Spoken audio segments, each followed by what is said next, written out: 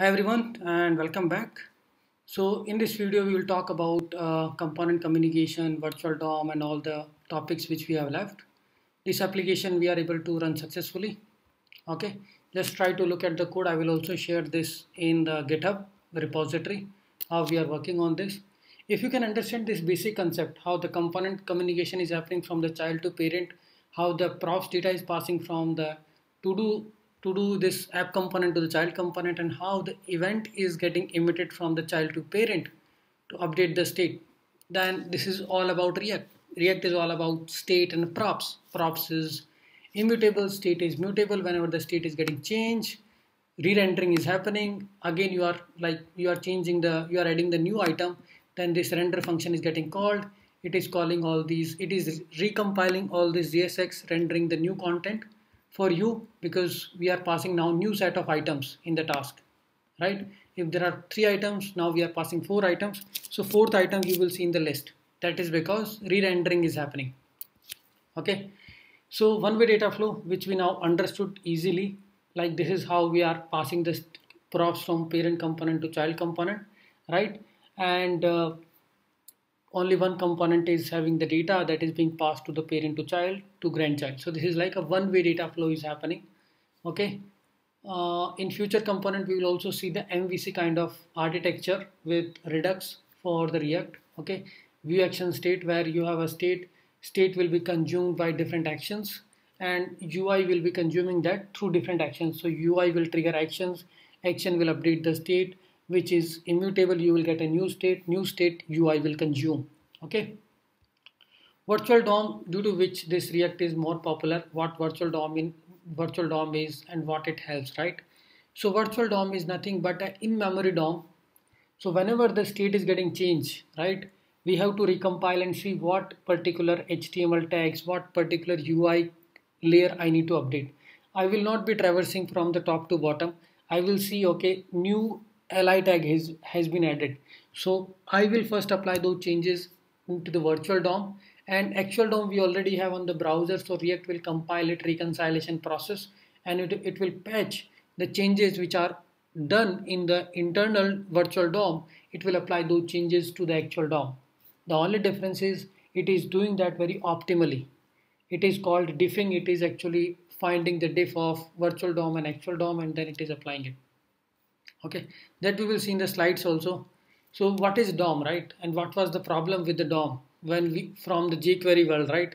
DOM is very complex structure right? And you have to traverse the whole DOM to update anything. Like you have different methods. You just get element by id query selector doc get element by class name tag name and then you will go to that particular node by accessing the children and then you will append a child remove a child or up, up, append the inner html all these things will happen right so html dom is tree structure and you have to traverse it and you have to apply the changes what if your tree structure is very big right then you will find it very complex so the complexity with jQuery is it was finding every DOM node for the event and it was applying the changes there.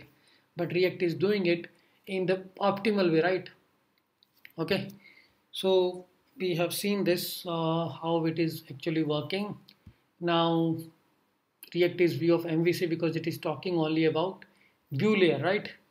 This is the MVC, typical MVC structure we have where we have a model view controller in the typical architecture.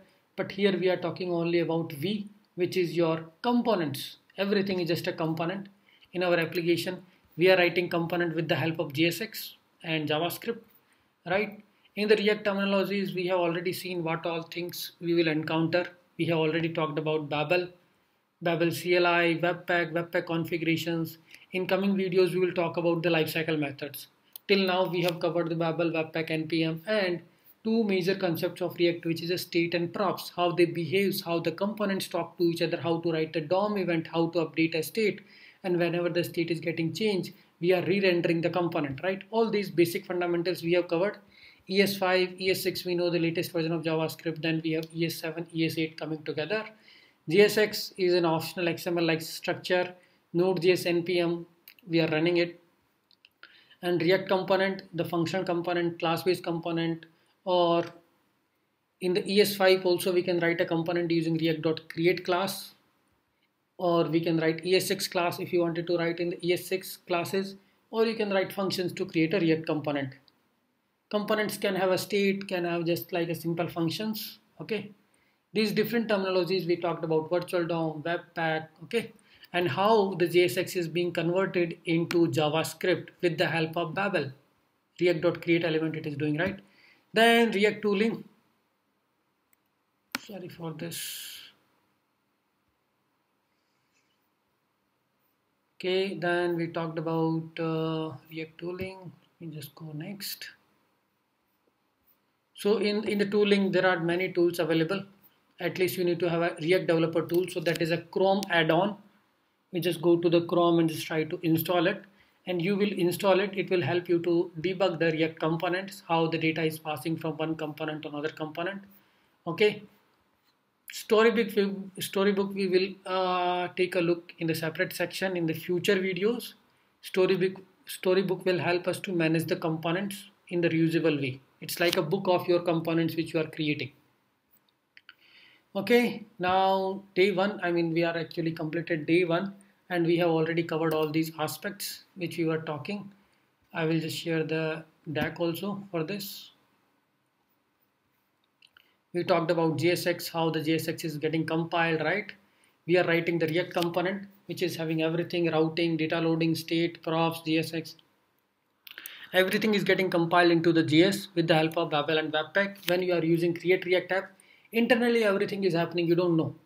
But when you are doing using the Webpack and all, everything you can see from your eyes, okay, this is how bundle is getting created. You are using Babel loader, you are using the file loader, and all these different type of module loaders you are using okay npm and webpack this is little important if you wanted to understand but now we started using create react app so we can just skip it you can look at this create react app uh, how we are doing it what is create react app how what how we are installing it now coming back to directly state and props because till now we have actually covered everything what is state, what is props, how we are initializing it. You can see this is how we are creating the state for our component and we are accessing that state using this dot state dot name.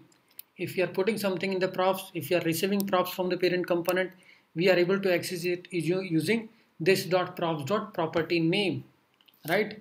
If you are getting, if you are passing something in the props, something like this, right? How will I access name? This is an attribute so I will access it using this dot props dot name, this dot props dot name in my component. Okay, you can also write a functional component and in the functional component you can directly pass it like this. So this is a simple JavaScript function, right? But in the functional component of React, you will see same kind of syntax. Okay, state and props, we have already written to do application and we have enhanced it. So we know a lot of things about what is state, what is props, state we are initializing in the class based component. Till now, we will also use state in the functional component. Either you write it in the constructor or you put a state equal to just empty curly braces, initialize the state. This is how we are passing the props, right? So, I mean, in the render function, it is a JavaScript vanilla function. You can do whatever you want, the calculation and all, and return something inside the function, right? Here we can see the example of uh, parent-child component. Yes, so app is rendering the greeting component, which is a child component. And greeting component is defined here, right? And you are passing, you are not passing anything. It's just a rendering parent component is rendering the greeting component. Okay. In other, other examples, you can also pass something like in the app component now, I'm passing some variable greetings. How can I access it in the child component using this dot props, right? This is how I how I access it. I was passing the uh, the to do's item to the child component. I was accessing uh, I was accessing it using this dot props dot to do's. I'm little fast here because these are very basics now. How to pass props, how to write parent component, child component, how a parent component can render the child component. What you need is in the JSX put the child component tag.